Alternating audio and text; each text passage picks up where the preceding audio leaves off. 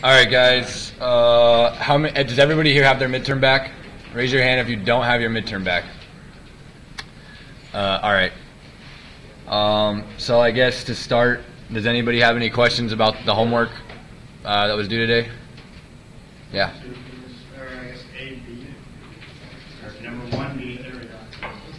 One B. Yeah, I don't think I set it up right online.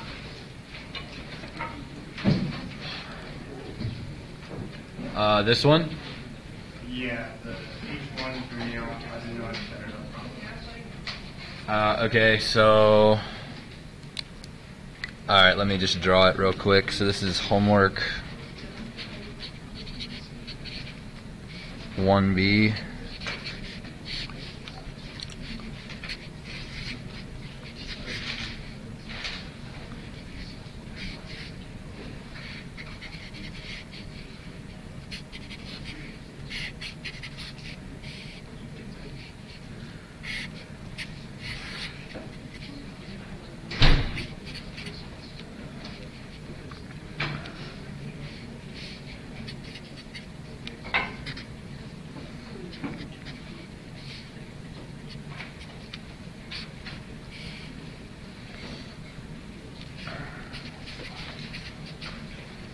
All right. Um, let's go back. So when you say you didn't set it up right, do you mean that you didn't set it up right in Spice, or you mean when you solved it? No, when, when I set it up, I don't know if I, if I programmed or just set up each one properly. And it's like all my, uh, all my power distributions were the exact same number. Uh, okay, so let's see. So you want me to solve it then and see what happens? All right. So uh, the first thing here is that, well, I didn't draw it exactly how you would have seen it, right? Um, I just replaced this source with I, and I know that I'm multiplying I times 10k to get this voltage, right? Okay, so so I know that that I is connected to a current source. So that current is going to be 0.5 milliamps, right? It's the same as this one. Everybody's fine with that? So that's this uh, voltage source is going to be 10k times 0.5 milliamps or 5 volts, right? Which makes VJ is equal to 5 volts. Did you get that far? Yeah? Okay, so I know that that's 5 volts.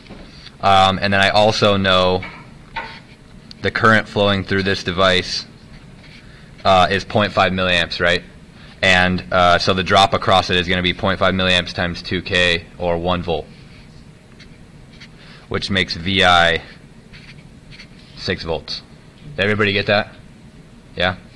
All right, so now I have everything I need to solve this problem. So let's go ahead and do power in red. So the power dissipated by the 2K resistor is equal to the voltage across it, right, which is 6 volts on one side minus 5 volts on the other side, times the current through it, okay, and the current through it is 0.5 milliamps, which means that 1 volt times 0.5 milliamps is going to give me 0.5 milliwatts. Yeah? That's what you guys got? Okay, let me get this cursor out of here. Uh, and then the power, let's call this 6K1 and 2. It's going to be the same. Uh, it's not going to be anything different, but the power across the 6K, the first 6K is the voltage across it, which is basically 5 minus 0. And then the current through it uh, is just, I'm just going to write it 5 volts minus 0 volts over 6K. Um, so let me just grab my calculator.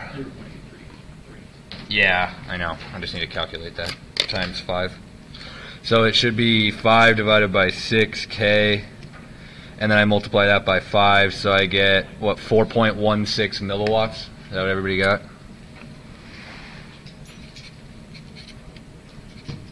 And that's the same as uh, this one.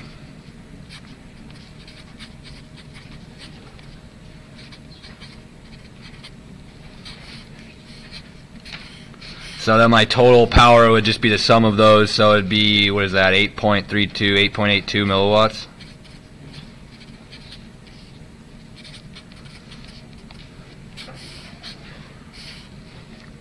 All right, all good? Did you find what you did wrong? Yeah, I think in Spice, I don't think I programmed the CCVS properly, and so it didn't, uh, didn't, it basically made the whole circuit the same, um, Current. current voltage.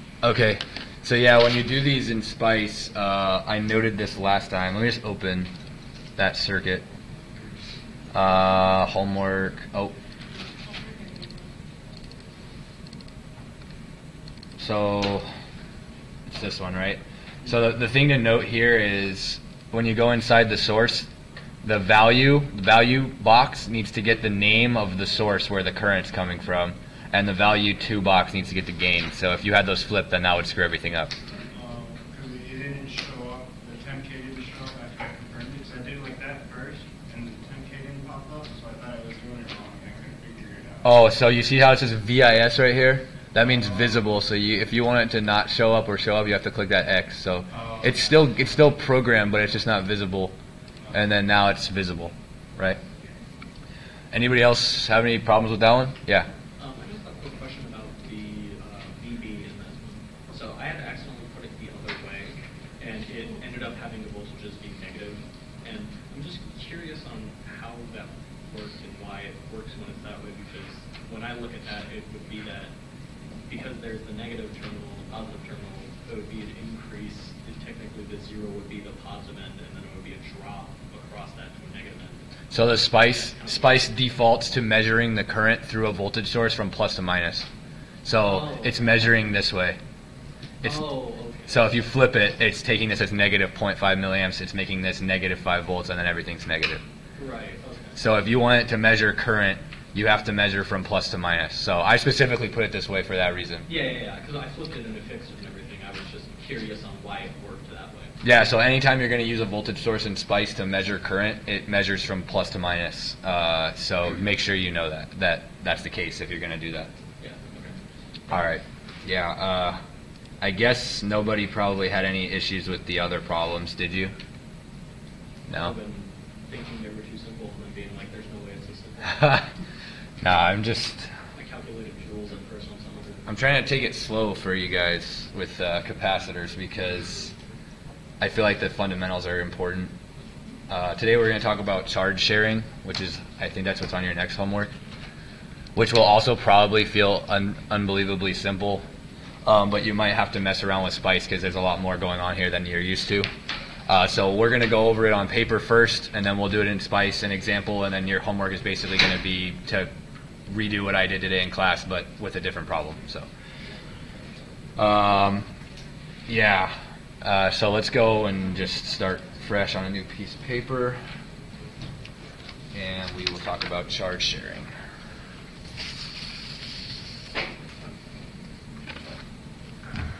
All right. So here.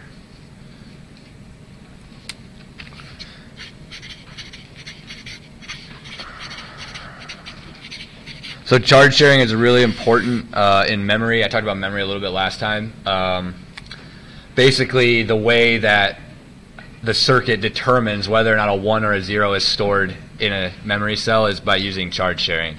Um, after we go over it a little bit and uh, I show you what charge sharing is, um, I can probably explain it better and show you guys an example of how that works in, in DRAM. Um, but for now, uh, let's imagine we've got a circuit um, that's got two capacitors. This is just an idealistic circuit. It's not something you'd ever see in this form. So I drew this last time. I don't even know if I mentioned that it's a switch, but it's a switch, and obviously right now it's open. So there's an open circuit here. And what we usually do is we'll draw an arrow here to note that it'll close at some time t equals zero. Uh, but initially it's open, so we assume that the switch is open and nothing, nothing, no current's flowing because it's an open circuit. So I'll call this C1. Connect these to ground, and I'll call this C2. And I'm going to give them some capacitances. Uh, let's say uh, 3.2 microfarads and 5.2 microfarads. All right? And so what we're going to say is let's imagine that these two capacitors are initially charged. All right? They're initially charged to some voltage. And that voltage, uh, let's say that the initial uh, voltage across C1 is, I don't know, let's say 2 volts. And then we'll say that the initial voltage across C2 is 1 volt. All right? So these are my these are called initial conditions. You're going to have to use those in Spice uh, to get Spice to pre-charge these nodes to certain um, voltages. Um, so let me just write that down. Initial conditions. And if I don't know if you guys have looked at the homework yet, um, that's due next time. Uh, but I have these ICs here. It says dot .IC. That means initial condition, right? And it's basically saying uh, set the voltage initially of VL to be 1 volt, and then set the voltage uh, at VR to be initially 3 volts, right? So when this circuit starts up, this switch is open. You see this is a switch in SPICE, right? So I'm going to go over how to, how to work with these today. Um, but basically these initial conditions set this voltage to 1 volt without a power source. We don't need some voltage source. And then it sets this one as well, so these capacitors are, are pre-charged to some, some given voltage, all right? So the question would be first, how much charge is stored on each of these capacitors at the beginning, right? And so initially, uh, we know, right, CV is equal to Q, so we can use that um, formula to determine how much charge is initially stored on these capacitors. So if I wanted to determine the charge stored on C, C1 initially, I would just take the voltage across C1, which is 2 volts, and I would multiply it by the capacitance. And so in this case, I would get 6.4 microcoulombs, right? Everybody good with that? And so then the other capacitor, same thing. I would take 1 volt and 5.2 microfarads, and I would get 5.2 microcoulombs. So the initial uh, conditions of this circuit tell me that the, the total amount of charge being stored is basically 11.6 microcoulombs, right? The total of the two charges. Okay, so the question is what happens when the switch closes, right? So when the switch closes, we get the case where now the capacitors are connected in parallel, right? They're going to be connected in parallel. They they're going to share this entire top node, and they're going to be connected to ground. And what happens is charge is conserved. So charge is shared between the two capacitors so that they reach a neutral state where the voltage across them is the same. Okay? The, the charge stored by each won't be the same because the voltage is the same, but the capacitance is different. So each will store a different amount of charge. But the total amount of charge will be conserved. And when this circuit reaches steady state, is what we call it, the voltage on this entire node will be the same it wouldn't make sense for this to be one single node and we have some voltage over here and some other voltage over here, right? They're going to snap to one value, but the charge is going to be conserved. Okay, so the, the, the, question initially, I think in your homework is what's the initial charge stored on the capacitors, and I just did that. So let's see.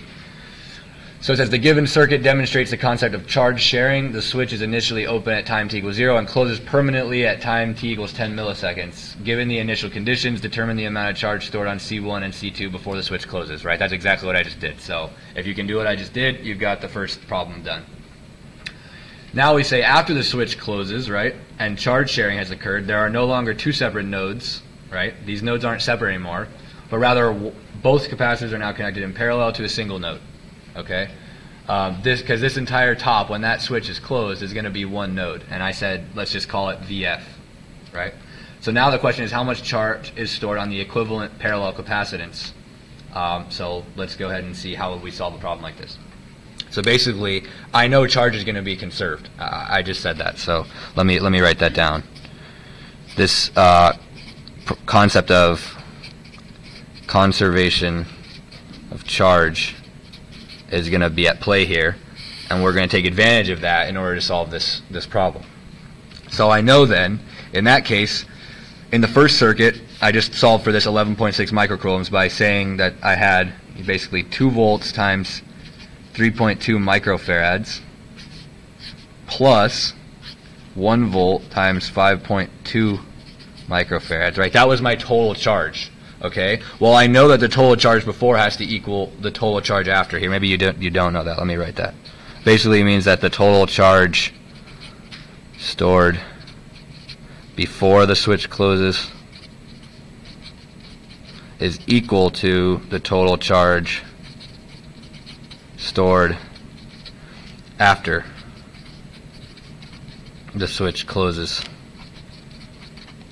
Okay? That's that's the that's what conservation of charge means. So I know initially that I have 2 volts across the first capacitor and I have the capacitance. I have 1 volt across the second capacitor and the capacitance. So when I'm all when I'm done with charge sharing, these capacitors are in parallel. What's going to be their total capacitance? The equivalent capacitance.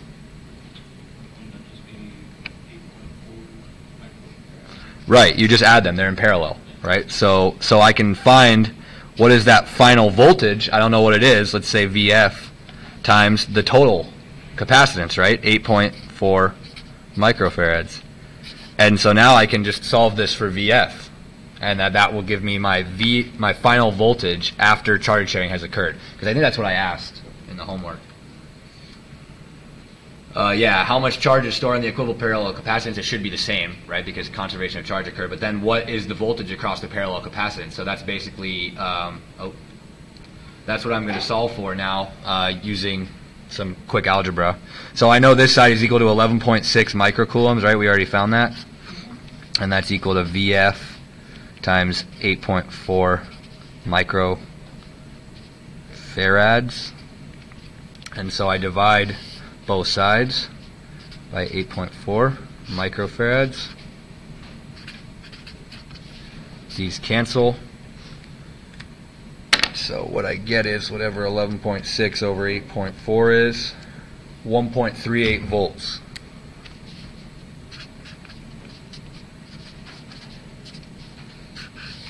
Note that uh, we're using this equation here, right? So I have Q equals CV.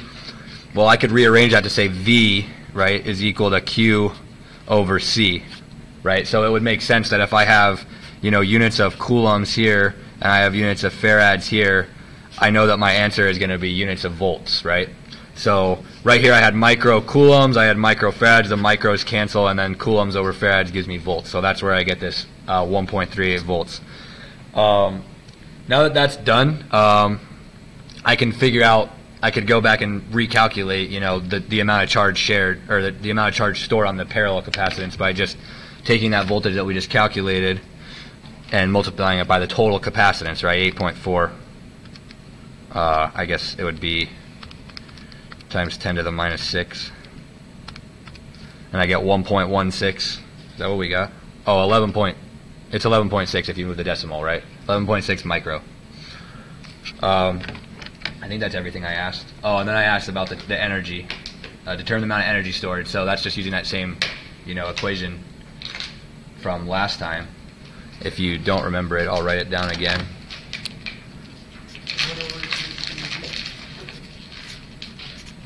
That's right.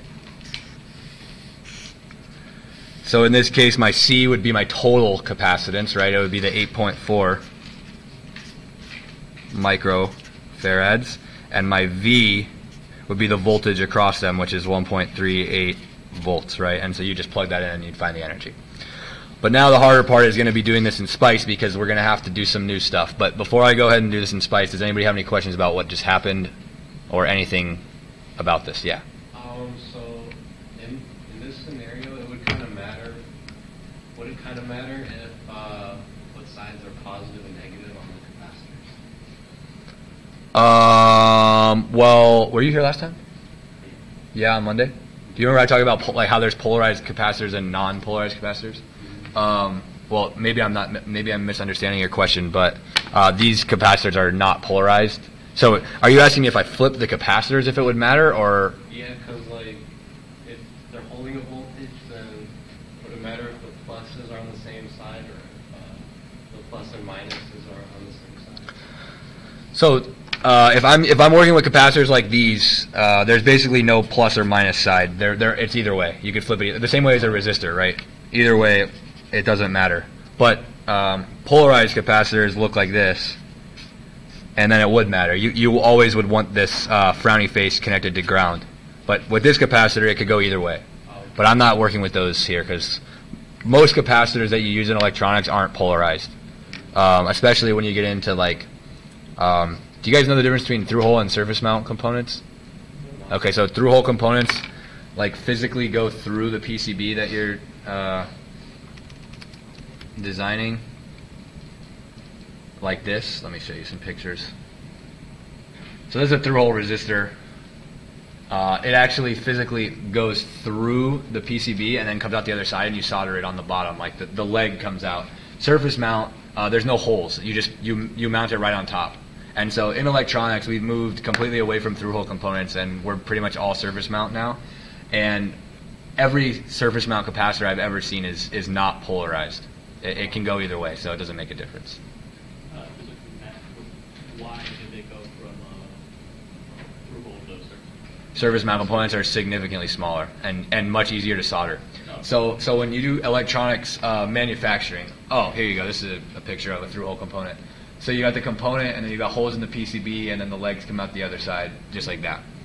Um, surface mount is right on top. So when you do electronics manufacturing, which I've done a little bit of, um, basically the old way was somebody had to sit there and solder all these components to the board.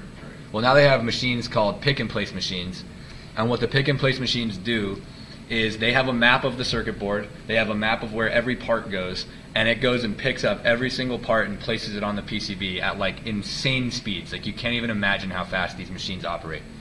And then once they're all placed, you send the entire board into it's called a reflow oven, and the oven gets hot enough that everything solders itself. So that's how mass production is done with these electronics. Um, there's no good way to place through-hole components on a PCB uh, with a ro- with a robot, right? But it's really easy to place surface mount components because there's no holes. You don't have to worry about getting them in the holes. You just have to worry about finding what's the center of the pads and then place it right there. So that's why they transition, and they're smaller. Yeah, what's up? So that kind of heat doesn't like ruin the electronics or anything? Like how does it, how would they get around that? So uh, there's a there's like a very fine threshold. Uh, these uh, reflow ovens uh, have what's called a temperature curve. Like they, they, they go up and they rise very slowly, and then for a very short period of time they hit the peak, and that's when the reflow happens. What's called solder paste turns into actual solder at that temperature, and everything uh, solders to the board in a very short amount of time, and then the temperature drops again, it, it like linearly. So it's not exposed to that high heat for any significant amount of time. I had the same question when I was working with this stuff. I didn't know how, but also a lot of the electronics can handle that heat. Like what's hot for us isn't hot for electronics, um, so they can handle the heat. But if you were to reflow it over and over and over again, you would damage the electronics. So ideally, you'd want to send it through the process once, and then it would be fine. Uh, okay, so basically, yeah, my whole point there was that through-hole capacitors uh, are not they're not polarized. Like basically, it looks like this. So if you flip it either way, it's identical. Oh, okay. You've got one plate here, one plate here, and then you have your dielectric right in the middle, exactly like we talked about last time, right? And then this is a polarized capacitor where you see that this side has to be the minus. Um, so those are through hole, but they're not. These are used uh, in power applications because they can store more charge than something this small. Uh, so inside of like some electronics, you'll see some big old, you know, blue round capacitors that look like this. Uh, but most of the time for small electronics, you'll see this. All right, so we just did the charge sharing problem. Does anybody have any questions on this before I go and do it in Spice? I'm going to do the same problem and we'll make sure we got the, uh, everything right. Okay. Yeah. Uh, regarding that, uh, sorry, this schematic, on the top, it says T equals zero. What is that symbol? This symbol or this symbol? It's just a switch. So in Spice, the switch looks a little bit different, right? Uh, And I was. So yeah, in Spice, the switch uh, looks like this, uh, and I'm going to talk about it because it's a little complicated. Um, it's going to take some, you know, ex- explanation on how to use these switches. They're they're uh, they're voltage controlled switches because you need to tell the system or LT Spice basically when you want the switch to be open and when you want the switch to be closed. So they let you control it with a voltage. And so that's what I've got going on over here. So I'm going to discuss all that. I'll go through this, and then uh, if you still have a question, feel free to ask. All right. So now that we're done with this, let's go into Spice. Uh, let me close this. I don't want to save anything. All right. So we've got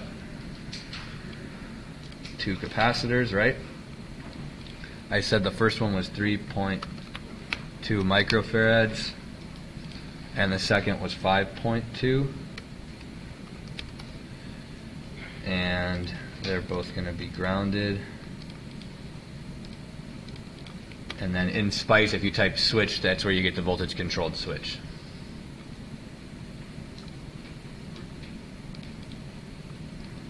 Let me uh, move everything over. So basically with these switches, you've got, here, let me just delete these wires real quick. You've got the switch part of it right here, right? And then the, the voltage controlled part of it up here, right? Is that, everybody sees that? So how these switches work is if the positive terminal's voltage is higher than the negative terminal's voltage, the switch is closed, okay? If the negative terminal's voltage is higher than the positive, then it's open, okay? So that, that I just said that verbally, but you'll see what I mean. So, um, you know what? Before I even do this, let's just, uh, I'm just going to make a little switch circuit so you can see how the switch operates. Wow, that's not what I wanted.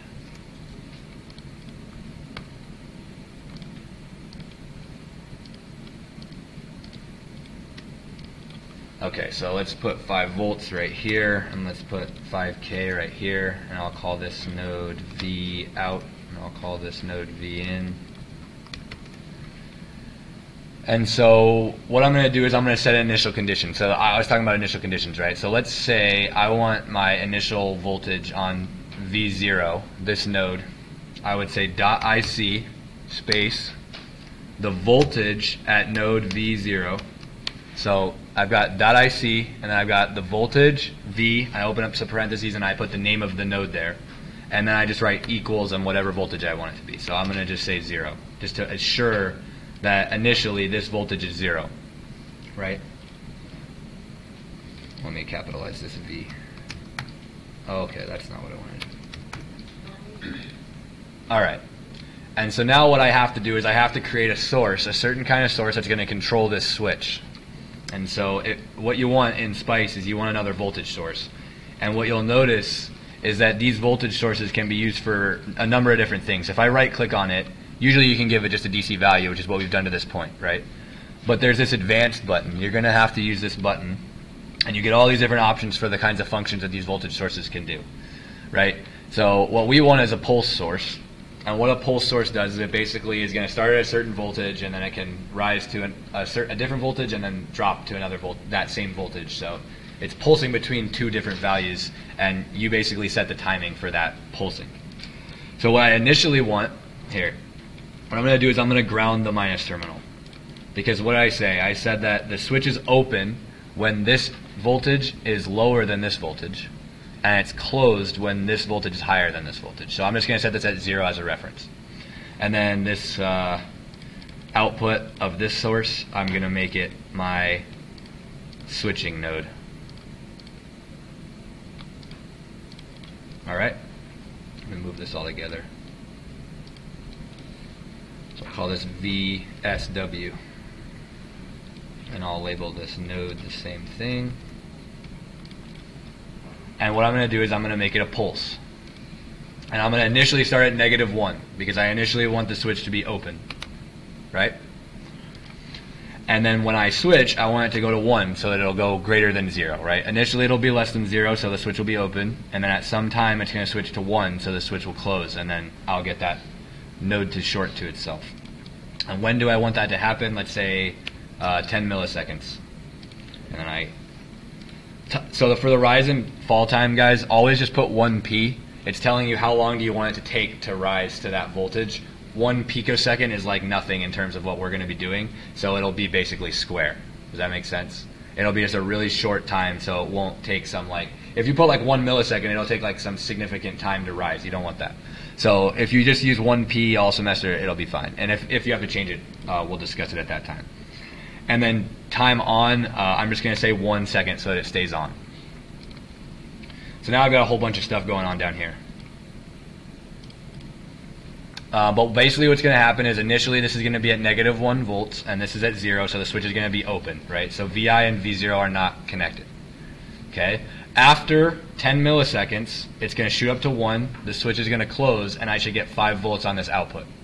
So what I should initially see is this voltage is 0 and then at 10 milliseconds it'll shoot up to 5. Alright? So I'm going to run a transient and I'll do it for 20 milliseconds just so we can see everything. Oh yeah, good thing it reminded me. You need a model definition for the switch. You'll see that I put it in the homework so you can just copy mine. Uh, see this dot model. But basically all it's asking for is uh, a model for the switch. How do you get to this?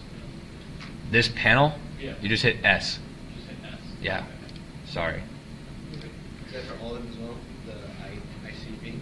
Everything, yeah, everything. You just hit S and it brings this up. Sorry, guys, I thought I had told you that. I think you can also hit this dot .op button. Yeah, does the same thing. All right, so now it's all set up. Let me run it.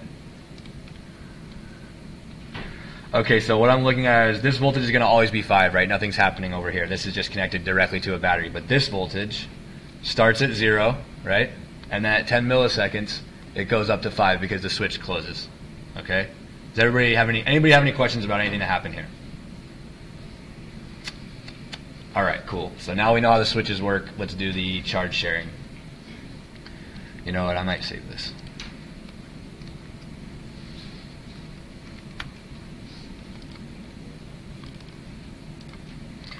All right, cool. So now I'll make a new schematic. So I need my two capacitors, my switch,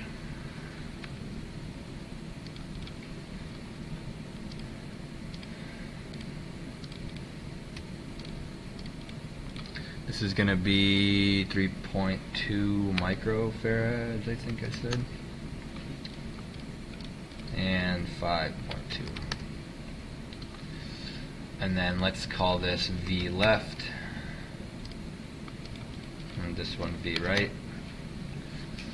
Alright, and then I need my dot model for the switch. Like I said, guys, just copy mine. It's just, it basically, it asks you for a switch model because in real life, switches aren't ideal, right? It's not just open and then closed. Uh, a lot of switches have a resistance once they're closed. Um, how long do they take? Like, what's the delay? How fast can they switch open and closed? Um, so those are all different things you can model, but we're just going to treat it as an ideal switch for, for this for this purpose. And so I said my I my initial conditions were the voltage on C1, so it's going to be the left voltage is 2 volts. All right. And the other one is 1 volt. Make sure you set these initial conditions, guys, because otherwise nothing is going to work. Because otherwise it's going to treat these both as 0 to start and then nothing's going to happen. And you're going to be like, what the heck? And you're going to send a message in the group, and I'm going to say, it happened in lecture. Same old crap. All right. So now, uh, last thing I need is my pulse. Uh, so I just get a voltage source. And I connect it here. You also don't have to connect that by wire. You could just connect it with names. I'll call this my switching voltage, and I will make it a pulse. So again, initially negative 1. It doesn't have to be negative 1, right? It just has to be less than 0. But negative 1 and 1 are just good values to pick. Uh, let's, in this case, let's do 25 milliseconds just so you can see something different. Set my rise and my fall times to 1 pico, and then I'll say that it's on for 1 second. And then my, I don't need anything else.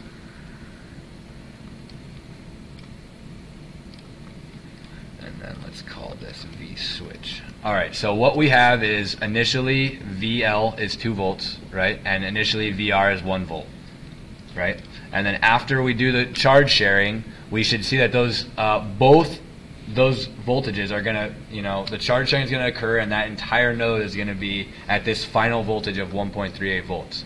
Okay, so if that doesn't happen, then I did something drastically wrong. So let's run a transient for 50 milliseconds. And run. And so initially 2 volts, and it drops down to 1.38. You guys see that? And then let's look at the other one. Initially 1 volt, and it rises up to 1.38. So now you see, right? That's how charge sharing works. So what I initially had was 2 volts. Um, let me just let me do this. It'll be easier to look at.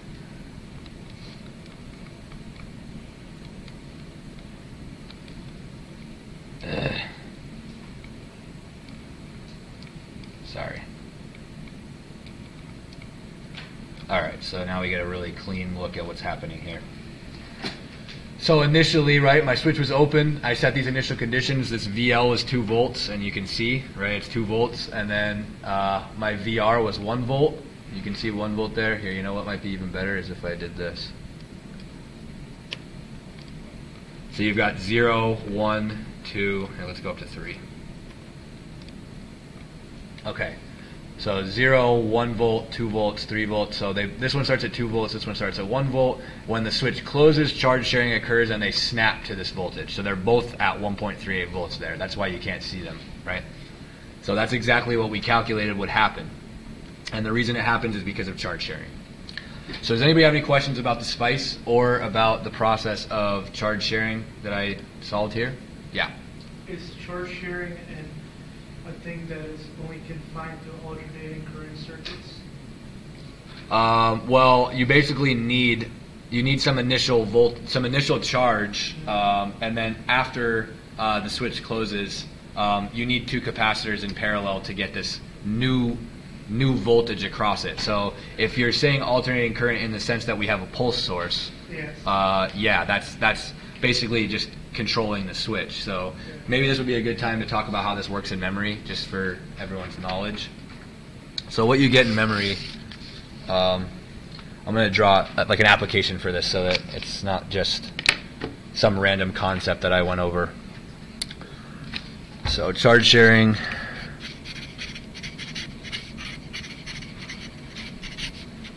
In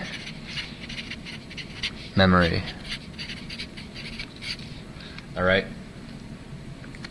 So I don't know if everyone was here yesterday when I talked about how DRAM works. I think I might have talked about it or on Monday after after class a little bit. Um, but basically, how DRAM works is you have a MOSFET. I've talked about these a couple times this semester now. It's basically just a switch, um, an electronic switch, and you have a capacitor uh, connected to that switch, and that is connected over to this thing called the bit line and this is called the word line. So this is called the bit line or the column line, and this is called the word line or the row line. Okay? Just write it out.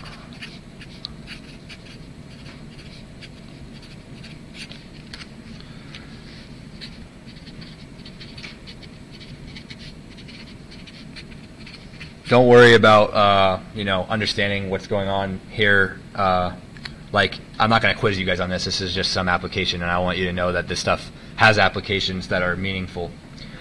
So, so you have this device here, and I've talked about how before, if we have enough voltage on you know this gate, it'll allow charge to pass through from the drain to the source. Okay. So in electronic circuits, we have a power supply voltage, our supply voltage is something that we call VDD. You may have seen it before, or VCC, but I think more common is VDD. It's just a name for the voltage. It's it's nothing. It's just a variable. And so this bit line is going to be charged to VDD over 2. Okay? It's going to be half of VDD.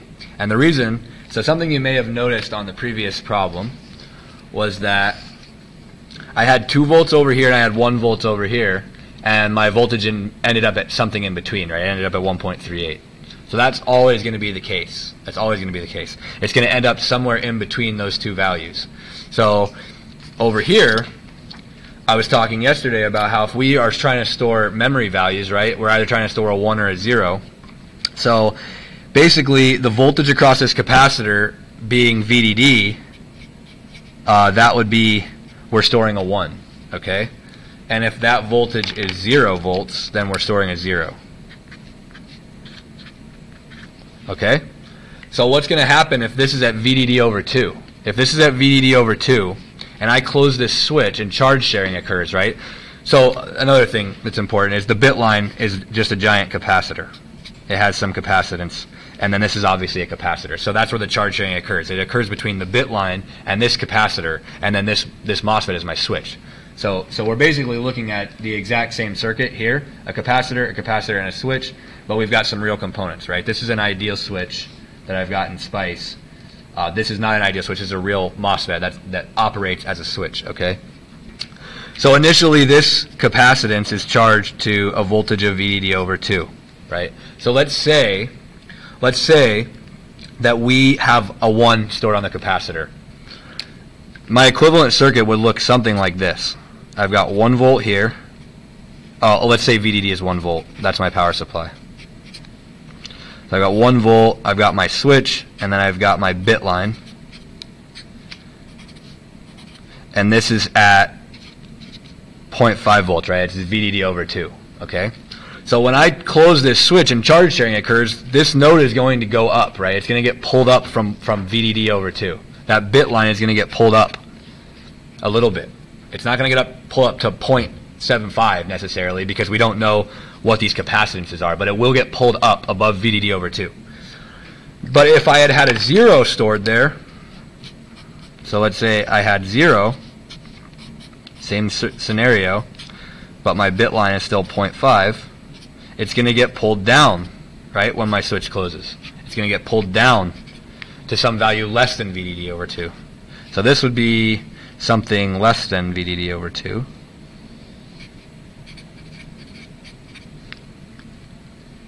And this would be something greater than VDD over 2. And so now this bit line is connected to a circuit called a sense amp. And that circuit can determine, based on whether this node was pulled up or down, whether or not there was a 1 or a 0 stored in this capacitor. And so it basically takes the bit line voltage in and it outputs either VDD or 0. And so that's, that's how charge sharing is used in memory. It's literally used to, dis- to detect what's being stored in the, the memory cells. Uh, any questions about this? All right. Um, okay, so I guess the next thing I want to talk about is, rela- yeah. So when you say VDD over two, would you just to create that? Would you just use a voltage divider to like two equal things to be able to get VDD over two? Yeah, actually, what they use is it's called an equilibrate circuit, uh, but it, it's basically a voltage divider. Uh, what they have is they have a rail here that's at VDD, and they have a rail here that's at zero, and then they have two MOSFETs connected like this. And this voltage in the middle here is VDD over 2. And so you take that and just connect it to your bit line. But what you, but it's not directly connected because then this wouldn't get pulled down. Uh, the circuit basically pulses high, and so these switches close, and you get VDD over two here for some because these have some intrinsic resistance.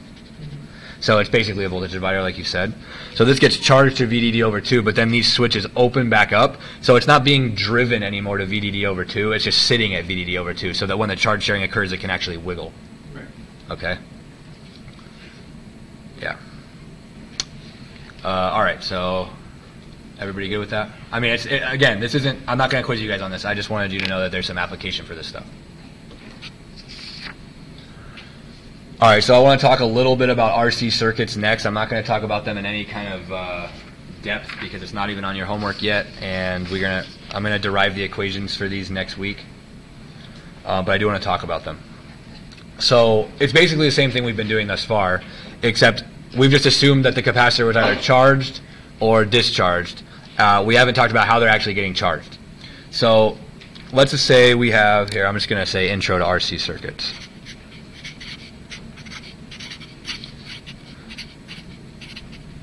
So when I took this class, Baker said uh, we're going to talk about RC circuits, and I thought he was talking about remote controls. Like he did not give any context that the R was a resistor and that the C was a capacitor. And so I was like, oh my gosh, I got to write this stuff down. This is going to be horrifying. And it's just a capacitor with a resistor, and, or a, a circuit with a resistor and a capacitor. That's an RC circuit. So just so you all know and don't freak out.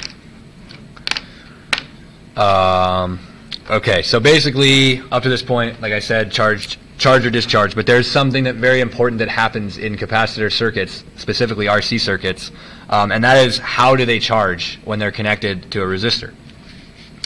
Because a resistor is needed, you, right? In real life, I think last time I went over some. Let me just look at the notes from last time so I can preface this. Uh, what was last class? So I, I, basically showed this circuit where we, we charge the capacitor with absolutely no resistance, and I talked about how we would put a resistor there in real life because this is not a good. You don't want to just charge a capacitor with no limit of how much current's flowing into it because uh, it can blow up. So basically, um, let's go back to the. Anytime we're charging or discharging a capacitor, we're going to charge or discharge it through some resistor. And so, let me just draw the circuit. Let's say charging. So we're charging this capacitor. It starts at a low voltage, it goes to a high voltage. We're going to put a resistor, and we're going to charge this capacitor, C.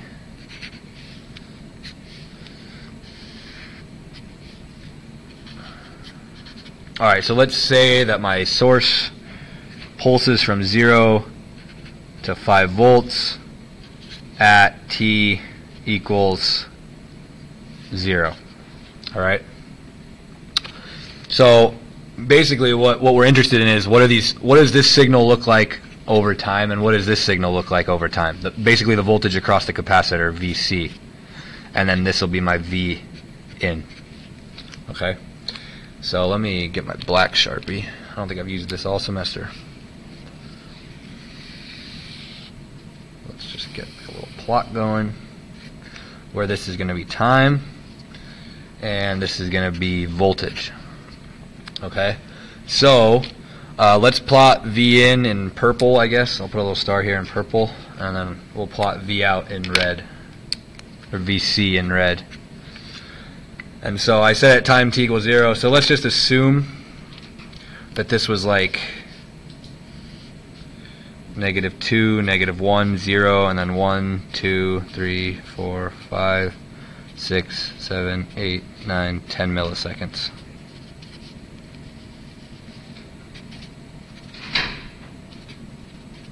Alright?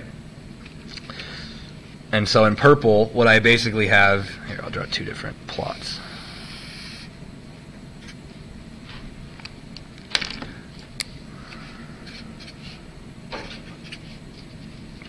I basically got this signal going 0 volts and then at, right, t equals 0, my input pulses up to 5 volts and then it stays there. All right, nobody has any questions about that, right? That's just the pulse. We talked about that. If you do, speak up. Okay, so now what's interesting is what happens uh, with the capacitor. Okay, and so what when we charge these capacitors, they charge exponentially. They don't charge linearly, like you might assume. They charge exponentially, and there's an equation that governs that, that exponential charging and discharging. So let's put my 0 here, and I'll put my 5 here. So what's going to happen is this capacitor is going to be at 0, right? It's initially discharged, and then when this signal pulses up, you know, this is going to be at 5 volts, and charges are going to start pouring into the capacitor and it's going to start charging. But the way that it charges is it charges like this. Exponentially, where it basically takes roughly five what we call time constants to charge to 99%. So that's an important note. And you might be like, what the heck's the time constant? Well, in RC circuits, the time constant is literally just R times C. It's whatever the resistance is times whatever the capacitance is. And we call that time constant tau.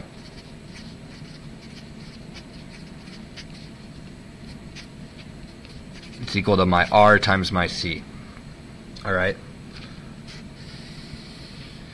And so if you were ever curious, well, you probably haven't been, but one day you will be. Um, how long does it take to charge a capacitor through an RC circuit? It takes roughly five time constants to charge, or if you're trying to discharge it through a resistor, roughly five time constants to discharge. And so, for example, in this circuit, I made it to where it would take about 10 milliseconds. So that would mean that my tau was probably around two milliseconds because it took five time constants to charge, right? And so if I want to get a time constant of tau being two milliseconds, uh, I could have said maybe my capacitor was one microfarad and my resistor was two kilo ohms. Right? So if that was the case, my R times my C is equal to 2K times 1 micro. And K and micro, that's 1,000. This is 1 millionth. So it becomes basically 1 milli. So I get 2 milliseconds.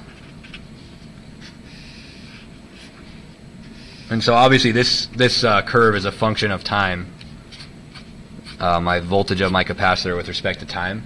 And there's an equation for that. Um, but I don't want to just throw it at you guys. It's a pretty complicated equation. So next class, uh, what I'm going to do is I'm going to derive that equation. And so once the capacitor is fully charged, right? Once it's fully charged, uh, if we were to pulse this, you know, input back down to zero, the capacitor then discharges in the exact same fashion. It discharges exactly the same way exponentially. And so this behavior is what we're going to be studying for the next couple classes. Uh, I think I mentioned that. Yeah, so I said begin RC circuits next class and then uh, continue with RC circuits. I haven't made those homeworks yet, but I'm going to make them in the next couple days. Um, and then next class, I will go ahead and uh, give you guys those equations and we'll start talking about them. I'm sure there will be questions and we'll continue to work with transients and pulse sources and all kinds of stuff like this in SPICE. Um, but right now, I guess I'm going to give you guys the quiz a little early today because I don't have anything else to cover and I don't want to get into this yet. Any, any questions before I give the quiz? Yeah. You go back the, the paper?